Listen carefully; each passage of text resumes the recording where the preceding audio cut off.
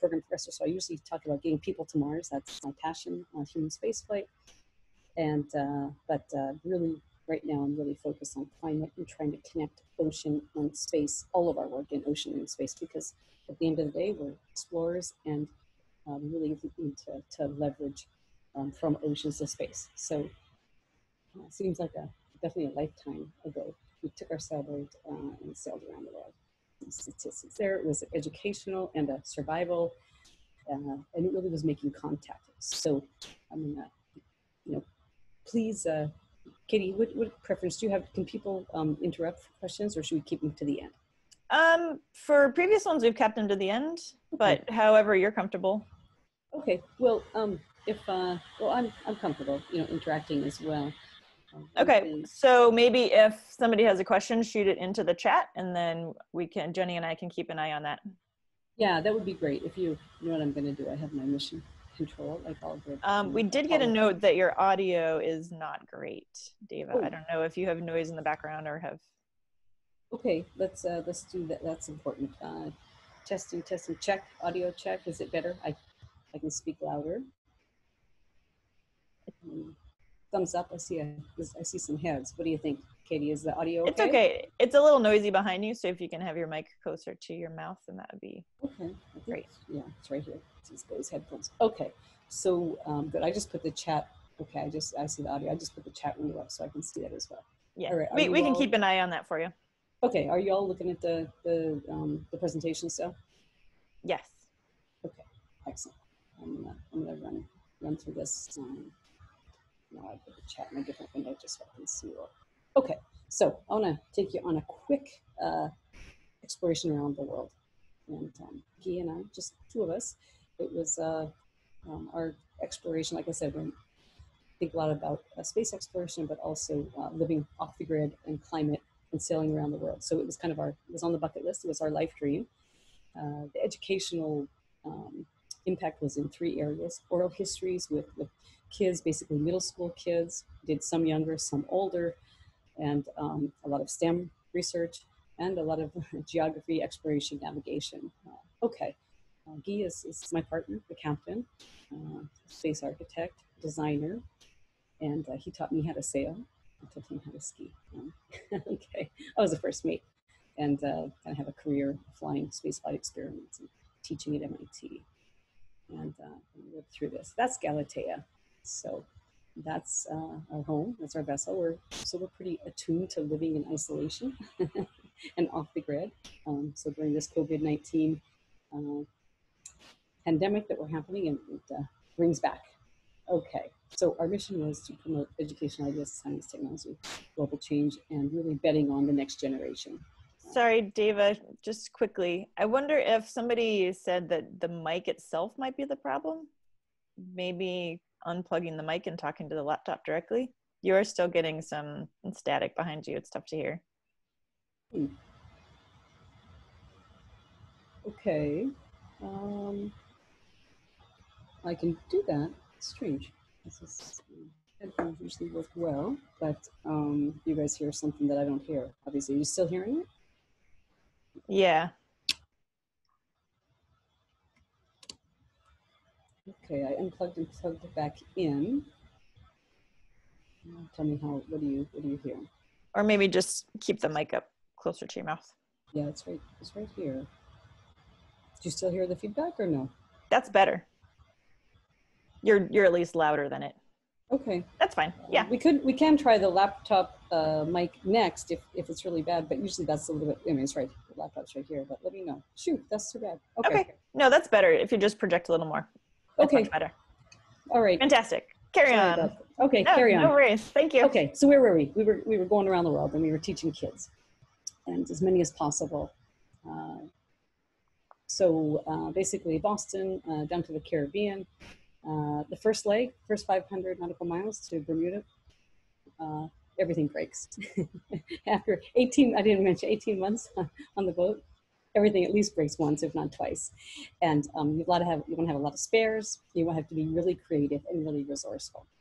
Uh, we had a wonderful NASA title, Solar System Ambassadors, to try to bring uh, space exploration to kids all around the world. Um, which was uh, an honor and a privilege for us. Okay. We also brought in our, from guardian angels, we brought in our you know, astronaut friends and colleagues, and we had three-way video. As you, y'all don't know this, but in 2002 to 2003, when we were going around the world, there was no Skype. There was no three-way communication. These were thousands of dollars of uh, getting kids together. We always had a U.S. school with an international school, say, you know, Panama or Australia, 33 island nations we went to. We did about a dozen um, three-way video conferences, which uh, took a lot of logistics uh, to set up, but it was really well worth it. And uh, trying to teach and, and interact and telling basically recruiting the next generation of astronauts, you know, uh, seriously saying every island student, kid, um, they're explorers by nature and they've also dealt with a lot of hardship and isolation. They know someone, one of their family members typically, who's maybe perished at sea. And so we were saying, you know this is like what being an astronaut is like. So yeah, you're from Panama. We haven't had a Panamanian astronaut yet, but you know, you're, you're well suited um, in terms of exploring and learning from nature. And uh, we wanted to learn, of course, just as much as anyone else, and even an enormous amount from indigenous peoples, indigenous peoples and islanders because they live pretty much completely in balance with nature.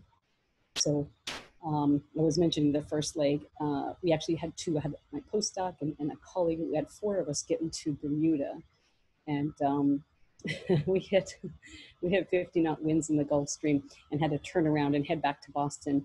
Uh, uh, Brian, my my mate, we blew up our spinnaker pole.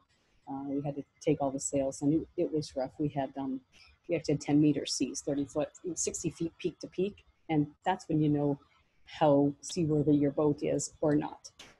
Um, so we survived. We limped into Bermuda. That's another story. Now, fast forward because uh, you only take pictures when it's really sunny out and it's beautiful, right? So we have all these, we don't have videos and you don't put your nice camera out when you're, you know, about to be demasted. So um, you'll see all these lovely, lovely, beautiful sunny pictures from me. Um, cultures, you know, in the Caribbean, Carnival.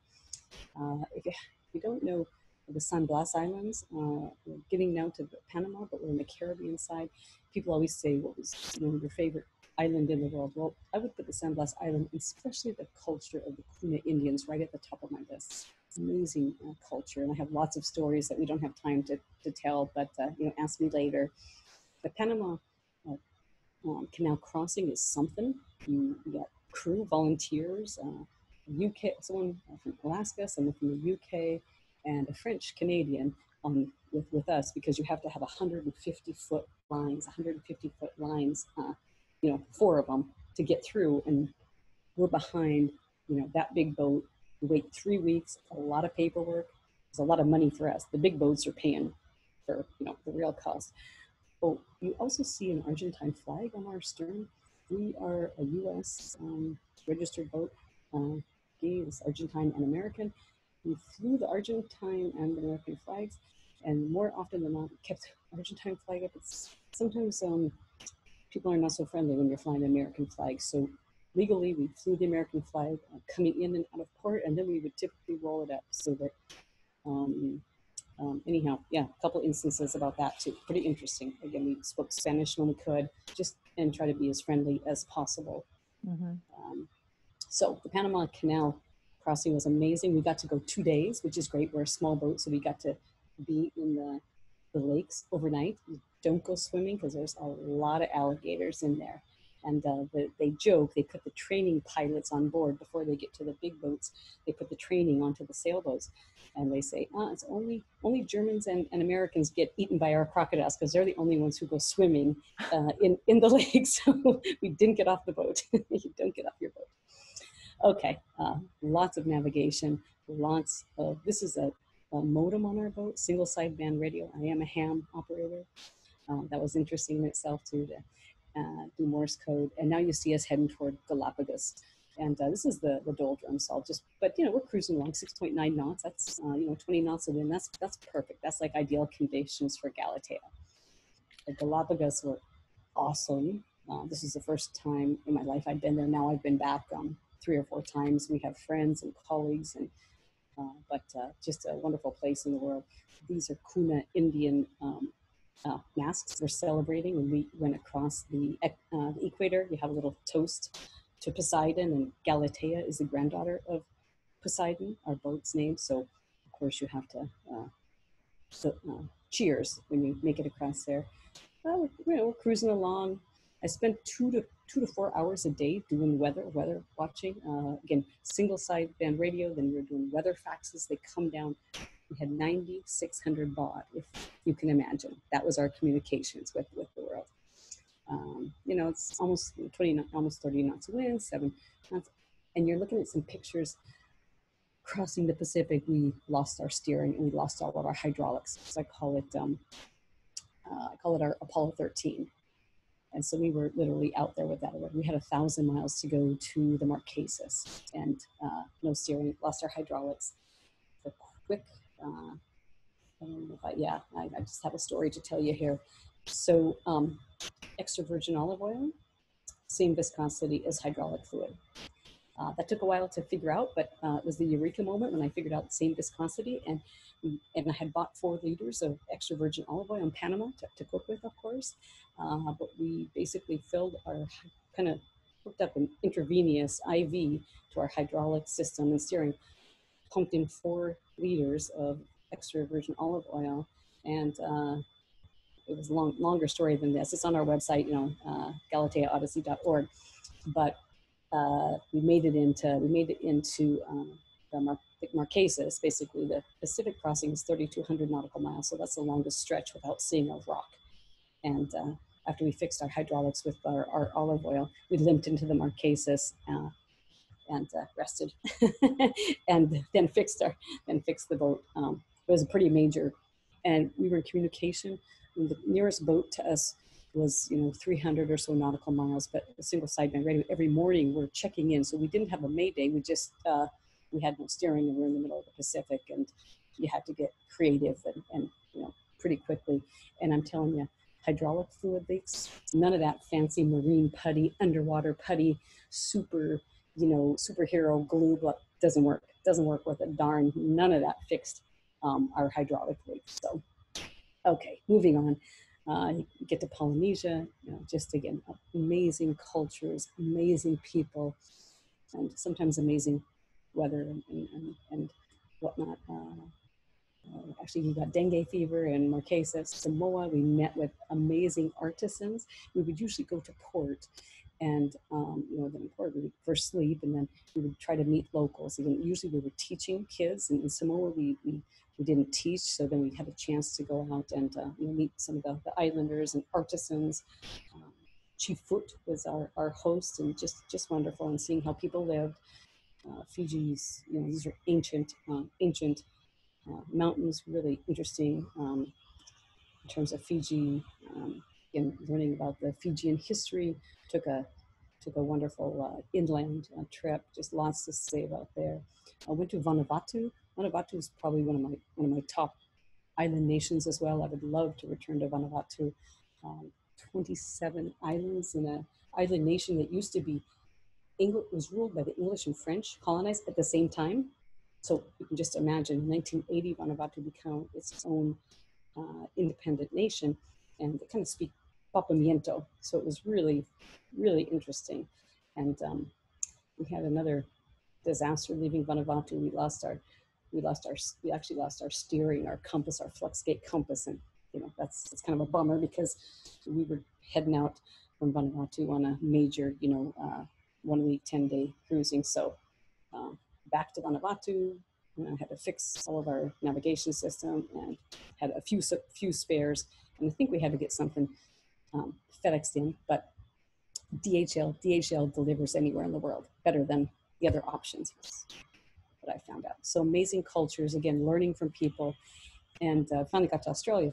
Now in Australia, we're only halfway around the world, and you know, it seems like we had had enough adventures uh, for a lifetime. Big crocodiles. we sailed the whole northern coast of Australia, uh, the whole Aboriginal coast, and again, culturally, it was amazing. Uh, went through the hole in the wall. Uh, that's a very special place uh, in the world. nine knot, nine knot um, currents and so you got to be you, you, you do a lot of navigation you catch the current going the right way uh, I, have, I don't have time to show you a video in there, but you think you're you think you're running into land, not a not a not a comfortable place on a sail, sailboat. Uh, but it was worth it to see these amazing places and, and meet these you know amazing students and um, fast forward we actually spent a lot of some time in australia um, but we had to keep going. You know we were on an 18 month circumnavigation which is actually really very quick for, for a cruising boat. Cocos-Keeling is an amazing place in the world. Q&a let me you can ask me about the, the russian who sailed there on a nine foot boat three meters but he didn't sell the he didn't set the world record. We were we were worried we were going to t-bone him out in the out in the ocean. You don't want to run over the 70 year old russian man who's the second oldest man in the world and has probably the second smallest boat to circumnavigate he built it in his apartment in hanging off the deck in in uh, in moscow from scraps. Amazing, amazing, amazing uh, interaction. Beautiful culture. It's Australian island, but it's uh, the ethnicity is Malay. The islands we went to were, were uh, Malaysian.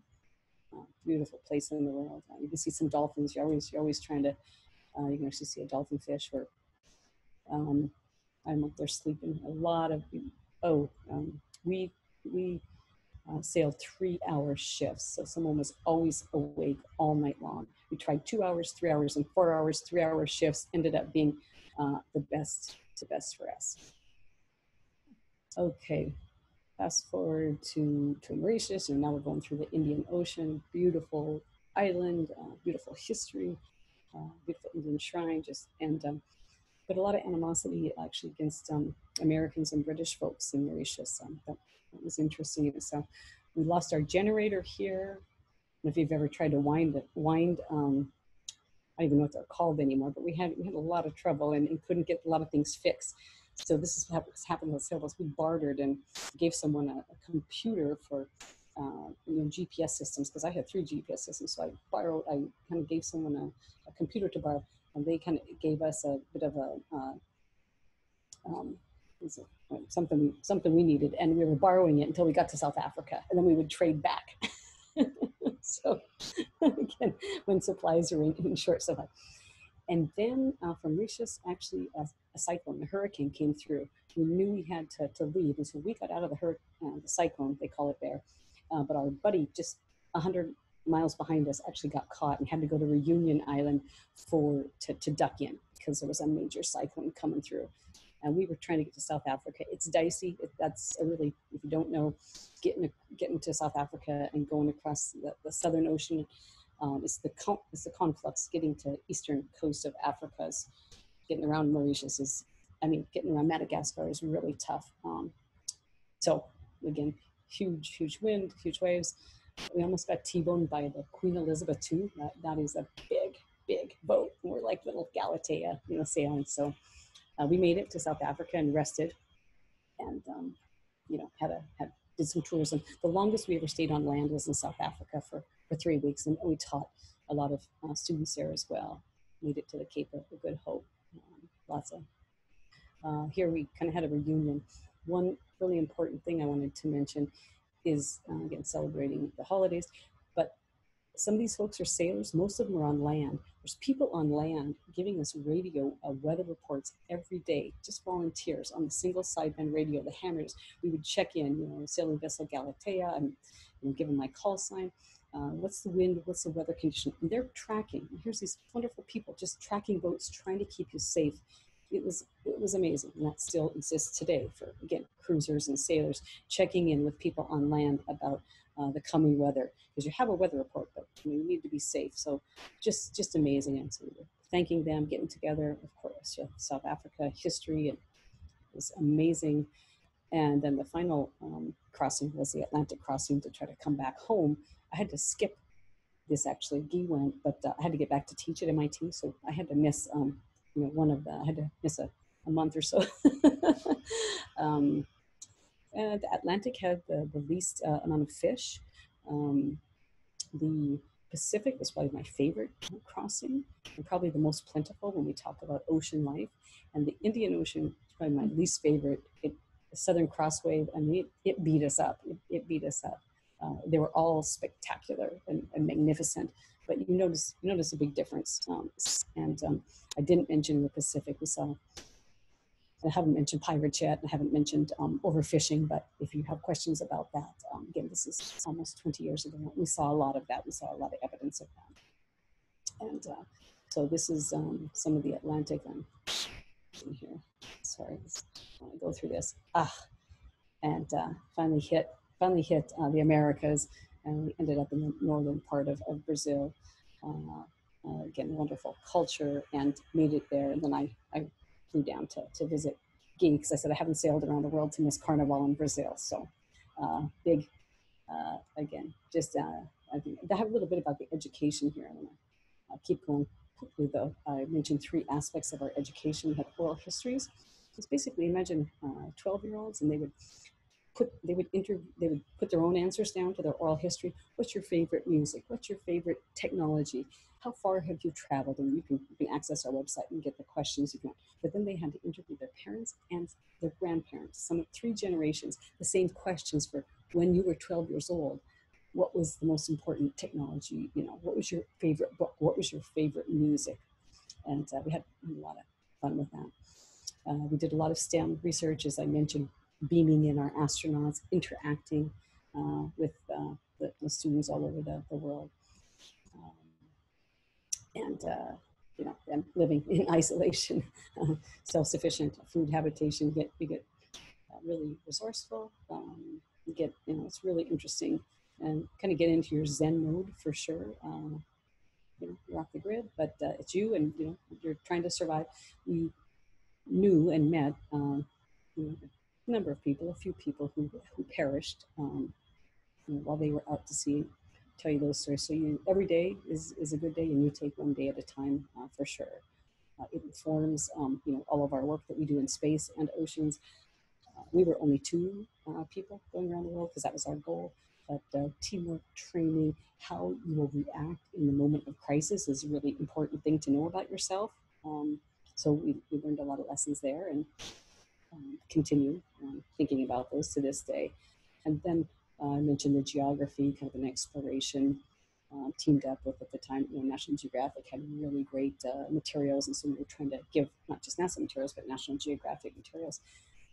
Turns out that probably folks in the U.S. and Australia were the worst in terms of geography. Uh, the rest of the world was, um, especially 12-year-olds, let's say baseline 12-year-olds, um, and uh, how do we know that? Because we had kids uh, make maps of the world. So we would go lecture in person, and then we would, the second day, we would try to beam them in that three way you know, um, uh, Zoom, you know, Skype, before Skype, uh, interaction, video feed with ourselves in person, the international students, uh, high, uh, middle school in the US from East Coast to West Coast to Montana, where, you know, I'm originally from. And um, each time it was a different school, a different nation. And then we would have the kids draw their map in 10 minutes, draw your map of the world. And so here's, uh, here's uh, Jose Daniel from, uh, from Puerto Rico. You know, and that's everyone is like the New Yorker's view of the world. Everyone draws your city and your continent in the middle, and you kind of forget about the rest of the world. It's, it's really fantastic. Uh, so we have maps from all over the world that kids are drawing. Some of them were very political. Some of them talked about um, hunger and violence and war. And some of them were space maps. Of course, we were talking about sea and space, but some of them are three dimensional, some of them are flat maps. It's, it's really fascinating, this collection of maps we have from, from kids drawing their vision of the world. Um, so we call it Galatea Odyssey World Contact, and that's a, a quick uh, a quick look at all the island nations we, we visited. Um, not all of them, some of them. Okay. Ah, and I have a funny thing. I think it's funny um, it, it probably a lot of you are sailors. So we came back, we're off the boat, and so we kind of um, wrote this on our blog. 10 ways to relate, you know, to sailing if you don't sail. I'll just, um, so what you do, I'll, I'll, just read a few of them off. You know, set your alarm for 3 a.m. When it wakes you up, put all your foul weather gear on, go outside into your lawn, and, you know, have your partner spray you with the garden hose and screaming, you know, it's time to reef the main. you can see, Katie likes that. um, Everybody else is muted, so you can't hear them. Um, I, how about this one? Uh, you know when the wind picks up outside run run inside open all your cupboards and throw all your glasses and plates on throw all your all your and swear at yourself for not securing everything so um, all kinds of things um, so that was uh, it, it was we learned a lot and that's for darn sure okay i think um and then again lots of lots of thanks to a lot of the folks who uh, we work with how uh, i need a, a time time check We have about a half hour left. okay total but we want to take a good 15 minutes for a q&a However long you Yeah. you'd like. Yeah. Oh yeah okay i want to I'm going to tell you a little bit about now that's only now i want to you know uh, fast forward 20 years after our circumnavigation but it's kind of fun. Thank you for for having me um, think about it. I haven't thought about it in quite some time. Now back to connecting uh, nasa work and, and ocean work if if you don't know we have something uh, called ocean world missions. And um, this is uh, the best place to go look for life in but in the solar system. So first and foremost earth and all of our oceans because they're completely you know, under under discovered. Uh, but uh, like I say, there's not an N of one, just Earth. When we think about climate and whatnot, we have a lot of planets and we have a, lot of moons, and we know about uh, looking for life and biosignatures. And so here's um, to scale, kind of some of the favorites: Earth in the middle, of course, and then Enceladus, a, a moon of um, Saturn, and Europa, a moon of Jupiter, um, two top candidates, and you can go all the way around: Titan, Triton, Ganymede, Callisto. We should, we should investigate all of them um, to get look for life, evidence of life. So I kind of just um, threw that in there, and then wanted to I wanted to jump to this slide deck. I think a couple of my students are on as well. Bjorn and Brandon, hello. I'm glad you're on. They're the real experts. I'm going to show you about um, some of the work we're doing right now um, called the Earth Intelligence Engine, and then um, just for 10 minutes. And uh, we're using a lot of science for weather and climate. It's funded in the MIT, uh, from the Air Force, from the MIT um, accelerator. So there's Brandon and Bjorn. I don't know if I have a pointer, but down on the bottom, those are the, the two stars of, of the show here. And um, I think everyone on here uh, has probably seen a lot of carbon dioxide data and a lot of temperature data. So uh, I'm gonna just say we're all, not show you my beautiful NASA supercomputer simulations because I think you've probably seen it. I will show you this one. Is Are the videos coming through, Katie? Yeah, yep. All right, I want to show you this because you, might like it, and uh, I think it's really important to think about you know visualizations and how we can curate all this data. I call it. This is uh, 2017, just a, a month, and so there's Jose, there's Maria. These are typical you know ocean hurricanes coming up to hit uh, North America.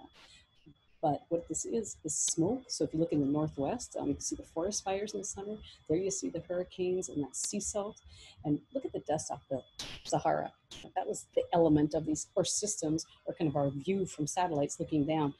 Um, and I want you to see Ophelia. Ophelia was a really interesting and very strange hurricane we had in 2017. It didn't come to North America. It just went right up the coast of Africa and it just blanketed. And there you see the forest fires in the Iberian Peninsula of Portugal and Spain. Um, so now lots to say about that. I just use this as an illustrative, you know, looking, uh, kind of looking through our atmosphere, looking at our oceans and, and um, putting together um, all this data in a very visually compelling way. So we uh, are trying to convert massive sets of Earth data into actionable items and platform enhancement models and visualizations. And um, Kind of call it across the subsystems, oceans, land, earth, and from near space.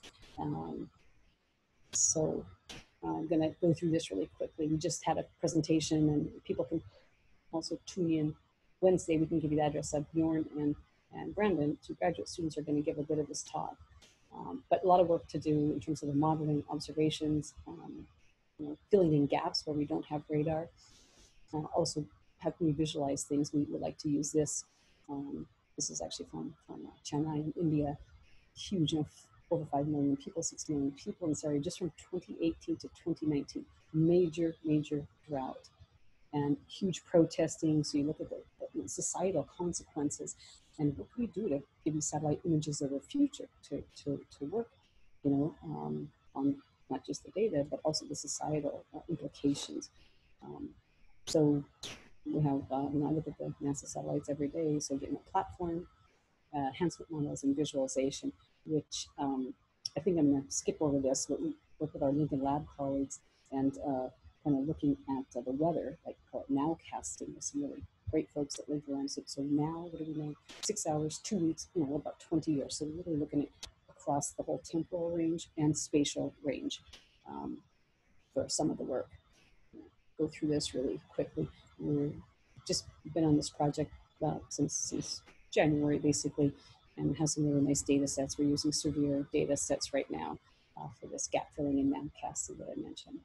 So um, um, when, it, when it comes to um, climate and you know, oceans and things like that, um, we need uh, right now the models are not high enough resolution. It currently uses grids. The goal is to really have a lot more detail and, and fill in and to also add some, some physics-based modeling to these things. I'm skipping over this very quickly, you know, viewing something else. So I'm working with Chris Hill. If you don't know Chris's work from Earth Atmospheric Planetary Science, he's a co-investigator on this work. And um, so they have shown some of their publications, the visual, the visual modeling. Um, Brenda's doing a lot of work in GANs, and typically you know, you might have climate data in this wonderful, this wonderful chart like that. What does that mean? You can't make sense of it. Uh, you might have played around with GAN paint. This is uh, open. Those are not real people on the left. They look like real people. They've been generated.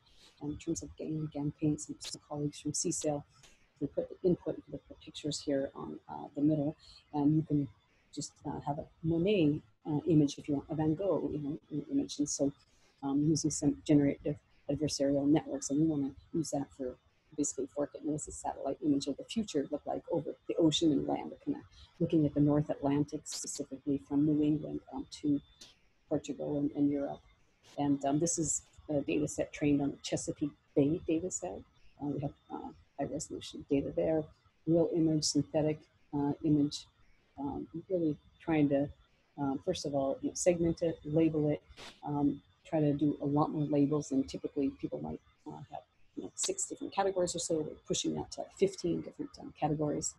Um, okay, so this is a bit of a flow chart for the input image, the satellite image for segmenting it, um, feeding the climate uh, impact model, updating your segmentation, and then coming up with your style, um, your style transfer GAN for the, for the output. And, um, you know, why? To offer insights, um, offer you know, predictions, uh, lots of lots of different reasons. So we tell you more about that, and then just to um, finish up, we're going to announce uh, in the summer we'll continue working on this is Earth science work through NASA and SETI's Frontier Development Lab. Um, again, this this Earth engine that we call it, and then you know our our work is into again using kind of the physics-based modeling and the GANs to further that, as, as well as um, getting out there and doing doing a lot of um, outreach.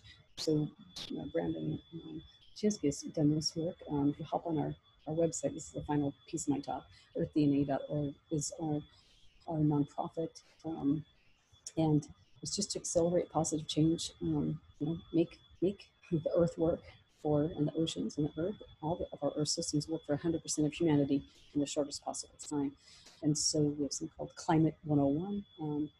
Um, so recruiting other college folks and you know, even high schoolers to be Earth ambassadors. And so that's all up and running. The, the, um, the curriculum is there. And that's a little bit look at the platform development, our, some of the enhancement models, visualization models.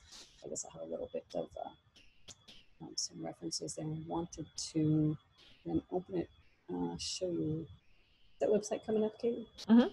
Okay, great. So, uh, you know, outreach in terms of the our nonprofit Earth DNA, uh, as I said, trying to uh, have the world work for 100% of humanity. It's uh, academia, governments, business, consumers, kind of everyone, you know, oceans, land, near, uh, air, and near space, trying to connect all of our systems. There's a lot to this. Um, the vision is to empower everyone to act. Uh, we know that if you give people, you know, as much data as possible, that's the easy part educating, sharing the data, sharing knowledge. How do you get people to change behavior? I guess we're running the world's biggest experiment under COVID right now about how we, you know, all change our behavior. The earth, the oceans are thanking us for uh, this sheltering in place, but uh, you know, we have to think about sustainable, uh, sustainable um, solutions. And so we go through a website showing you those things that we do have. We're really concentrating on all four subsystems, but but the ocean, you know, again the ocean subsystem, uh, kind of first and first and, and foremost. And um, the final thing I say is Earth speaks. This notion of uh, Earth speaks. The idea there is to um, have an Earth bot, but the important thing is can we have a conversation with Earth every day? Can I wake up? And, you know, hey, hey Alexa, how's Earth doing? Mm, you know, not so good, Dava. No, running a fever. And uh, I don't know if you've seen the background behind me, but uh, you know, how are, how the oceans doing, Dava. That's so good. You know, uh, the coral is bleaching. That's you know, 39 degrees, you know, dead coral, 30 percent the Great Barrier Reef taken out in 2016. I mean, you know, this is an emergency. All the, the bells should be going off. But at the end of the day, how do we have the conversation? How do we have the conversation with one another? And, you know, how do we act and then, and then move forward? So glad to glad to take any questions on uh, that little potpourri of uh, sailing around the world to some of our AI work to some of our nonprofit work. Great. Thank you so much, Dava. Uh, I'm going to stop sharing so we can see folks.